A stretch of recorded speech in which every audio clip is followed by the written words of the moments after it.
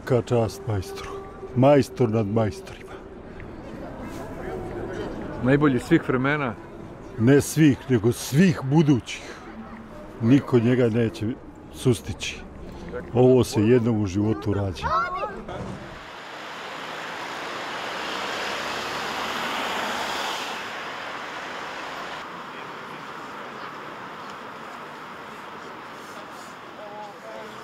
Pa presrećni smo svi, naravno, zato što je ovaj, prošle godine su se prema njemu ponašali kao prema kriminalcu. Mislim, čovjek koji je najbolji na svetu i koji je bukvalno anđeo.